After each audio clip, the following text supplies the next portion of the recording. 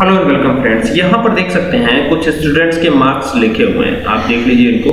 ये स्टूडेंट्स के मार्क्स हैं। अब हम ये चाहते हैं कि ये जो मार्क्स यहाँ पर लिखे गए हैं, इनमें कंप्यूटर का टोटल हमें यहाँ पर मिले।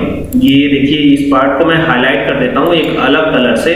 ताकि आपको पता चलता रहेगा कि यहीं पर हमें इसका टोटल चाहिए। तो ये देखिए, यहाँ पर हमें इसका टोटल चाहिए। अभी क्या करेंगे? इज़ इक्वल टू सम का फॉर्मूला लगाएँगे, कुछ इस तरीके से। ये सम का फॉर्मूला लगाया और कंप्यूटर के टोटल चाहिए ना तो टोटल यहाँ से लेकर यहाँ तक आप सेलेक्ट कर जाइए ये सेलेक्ट कर दिया। अब यहाँ पर एंटर अगर मैं प्रेस कर देता हूँ तो यहाँ पर इसका टोटल आ जाता है। कंप्यूटर का अब ये 530 आया हुआ है, आप देख सकते हैं। लेकिन क्या होगा कि यहाँ पर अगर हम नंबर इंक्रीज कर दें, जैसे स्टूडेंट्स के नाम भी इंक्रीज हो जाएँगे और नंबर भी इंक्रीज होते चले जाएँगे, दो तीन नाम मैं यहाँ पे इंक्रीज कर देता हूँ, ठीक है? अब यहाँ पे नाम भी लिख लीजिएगा।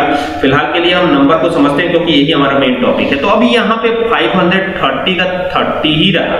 या तो आप फिर से फॉर्मूला लगाइए और यहाँ से यहाँ तक ट्रैक कीजिए। अब ये बार बार करना काफ़ी ज़्यादा इरिटेटिंग हो जाएगा आपके लिए। इसीलिए एक छोटा सा ट्रिक यूज़ कीजिए F2 प्रेस कीजिए फॉर्मूले को एडिट करने के लिए। यहाँ पर अगर आपको फॉर्मूला एडिट करना है तो F2 प्रेस कर लीजिए।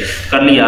यहाँ पर आपको दिखाई पड़ रहा होगा C16 दिखाई दे रहा है? तो आप C16 यानी रो नंबर आपको केवल रो नंबर हटा देना है। रो नंबर आप हटाइए और फिर ये कमाल होने लगेगा। देखिए, ये रो नंबर हटा दिया हमने, अब एंटर प्रेस करूँ। देखिए, ये अपने आप सिलेक्शन में आ गया। पूरा का पूरा कॉलम सिलेक्शन में आ गया। अब यहाँ देखिए 751 आ गया। अपने आप, ठीक है, अब आप यहाँ पे इंक्रीज करेंगे तो नो प्रॉब्लम ये जो टोटल है वो भी इंक्रीज होता चला जाएगा। मैं आपको दिखाता हूँ, यहाँ पे देखिए 64 लिखा। अब देखिए, वहाँ पे देखिए, यहाँ पे चेंज हो गया 815 आ गया। ठीक है, फिर नीचे कुछ लिखता हूँ 90 लिखता हूँ। अब देखिए, वहाँ पे कितना आया? वहाँ पे आ गया 905 तो इस तरीके से ये इंक्रीज होता चला जाएगा। ये बड़ी आसान ट्रिक है और अगर इस तरह की ज़रूरत लगती है तो आप इसका यूज़ कर सकते हैं। कैसी लगी ये वीडियो मुझे कमेंट बॉक्स में बताइएगा। Thank you for watching this video